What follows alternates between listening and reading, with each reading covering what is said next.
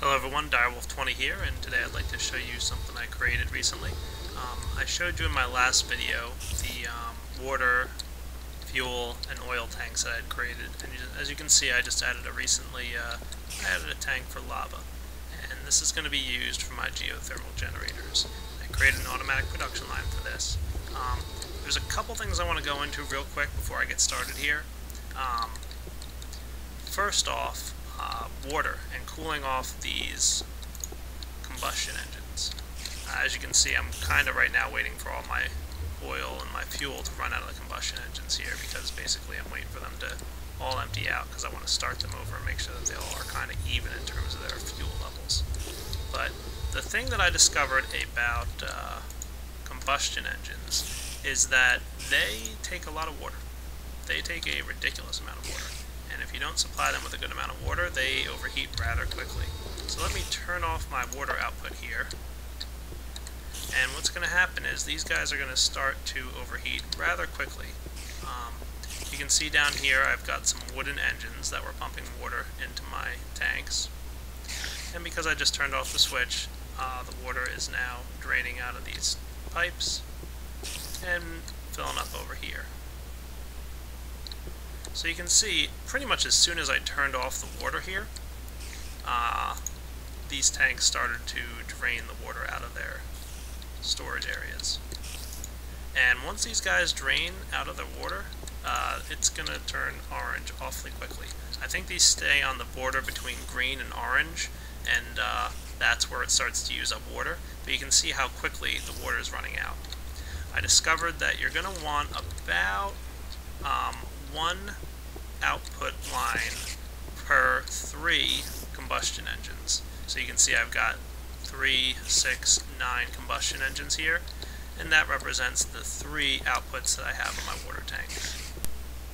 So that's three combustion engines per water output that you're going to want to have. Now as soon as I start to see these water levels go down, what's going to happen is once the water reaches empty, you're going to probably see these guys start to turn orange. I realize these last two aren't running, that's because they did run out of fuel, and I'm waiting to fill them up. I should also note real quick that I've got, um, if you look in the back here, I actually have three pumps filling this system, um, so again, if you want to do the math on it, you want to have about one pump per three combustion engines, cooling them off with water. So I've got nine combustion engines, I've got three pumps going into three tanks, and I've got three outputs, one from each tank. And oh, look, as soon as they ran out of water there, they started to turn orange. That's a problem because it means that they're overheating. Um, soon they'll start to blink between red and orange, so why don't I activate my water output here and start filling them back up with water. Um, now I do have a problem. Now that my redstone engines have cooled off, they aren't quite pumping enough water to keep my combustion engines cooled. So, what am I going to do about that? See, the uh, tanks there aren't really full. So how am I going to resolve this? I added a emergency water pump booster. Basically this is a redstone connection to some steam engines down there and I can activate the steam engines and they're going to turn on and start pumping power into my wooden engines and that's going to cause them to heat up a lot faster. So if you pay attention to my wooden engines, and I'm keeping an eye on my combustion engines in the background there, but my wooden engines are now turning to green much faster than they would anyways and uh, soon they'll turn to orange and then to red and it's right about the orange level where I want them. And you'll see that the faster the steam, the redstone engines are going, the more water they're pumping into the system. So now my water pump um, is getting these pipes filled up pretty well. And what should be happening is we're getting a good amount of water pumping into these systems here.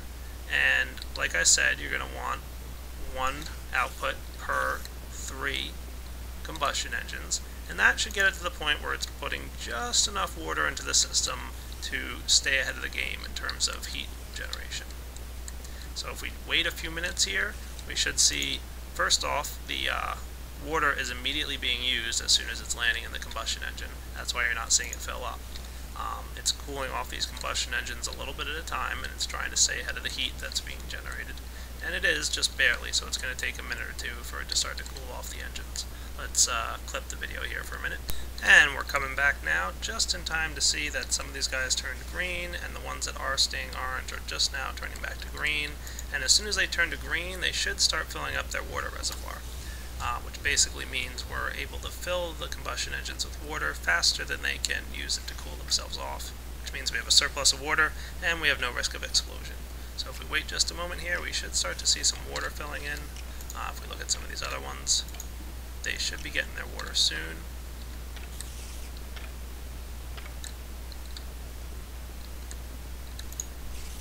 So this guy's got his water, this guy's just starting to fill up.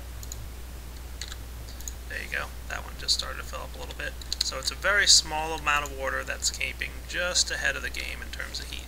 So anybody who wants to use combustion engines, that's um, three combustion engines per water output per pump. Now the one other modification I made here is that I wanted to make sure that anytime this system is running, I want water not only coming from here, but I also want to keep these tanks full. So I've got a pump, or three actually, outside, pumping out of a big ocean that you saw in my last video. And those are all coming into this teleport pipe here. Um, so this piping system is staying full because of these two engines on the end here. Um, they're actually, if we sneak around behind, instead of um, adding their energy to the system that's going out from my quarry or anything else, they're actually pumping directly over to frequency 4, which is where I have my water pump. So basically, anytime the system's on, these two combustion engines are dedicated to making sure that these tanks stay full of water, and then these tanks are being pumped out with redstone into my combustion engines. Now I basically have a combustion system that I never have to worry about. Um, this thing dug a ridiculously large quarry and kind of only used up like that much fuel. And I don't even think the fuel level was totally full when I started. So fuel goes a long way, um, much longer than oil would have otherwise.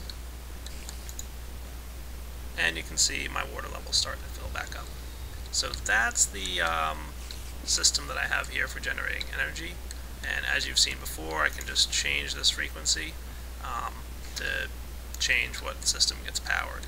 For example, if I want to pump more lava into my system, I can change the frequency to 5 and now instead of powering a quarry, it's powering a pump, and some lava is being pumped in here.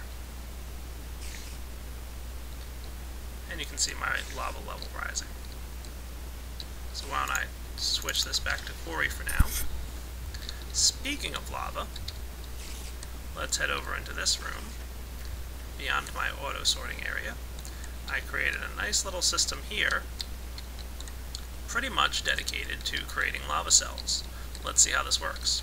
First off, we have a chest with buckets. The buckets are going into an insertion pipe and are trying to go into this bucket filler, which is a mod that I covered and did a spotlight on, so if you don't know what it is, go check out the mod. But basically the bucket filler will fill up buckets with whatever liquid it has available.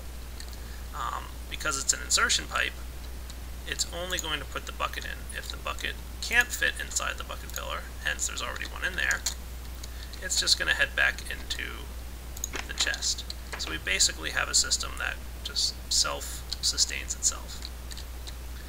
If there is lava to fill up, it'll fill the bucket with lava and output it into this chest, which you can see is full of empty cells. And the empty cells will combine with the bucket of lava that comes in to create a lava cell, will be output here. I then have this system using the advanced wooden pipe, only pulling out empty buckets. These items are required, so only empty buckets will come out, and are then shot back into the system over here, and back into the original chest. So what do you say we check this out? I'm going to run over here and flip my lava output switch. Lava output right there and that should start pumping lava out. The lava is going to land on this side of the room, where you can see it's already starting to fill up my bucket filler. Now I do have an energy teleport pipe down here, and it's on frequency 4, the same one as I'm using to fill up my, uh, my water pumps. But that's okay. It's only using a small amount of energy to fill up these buckets. And you can see as soon as the lava combines with the empty cell, it's creating a lava cell, and the empty buckets are being sent back into the system. Can now go turn off my lava. So no more pumping lava into the system. But the bucket filler does have its own little reservoir, and if we look at it, we can see it's about half full. So we're going to get a handful of geothermal cells from this. So again, this is a self-sustaining system. The only thing I need to do here is basically turn on that lava switch. And as soon as lava starts pumping into the system, it starts creating lava cells for me. And I'll probably build some geothermal generators in this room, and instead of having the lava cells land in a chest, they'll land in the geothermal generator. But for now, I've got this nice automated system, and you can see it just emptied out the last of the lava. So what's going to happen now is a bucket's going to land in here and just wait for more lava, and all the other buckets are just going to hang out in the piping system and continuously rotate around.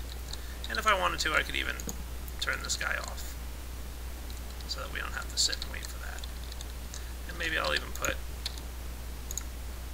a lever on this guy, so I can just have an on-off switch.